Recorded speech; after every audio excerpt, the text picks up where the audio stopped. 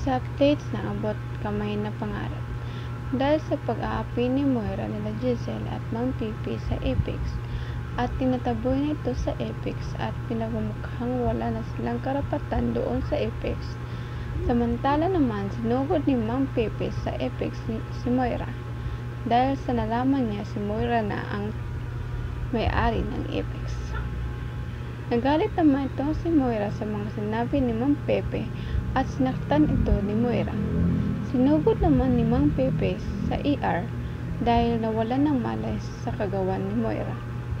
Samantala naman, ayaw naman ni Giselle na doon sa ward yung papa niya ilagay at pinamukha sila na mahirap.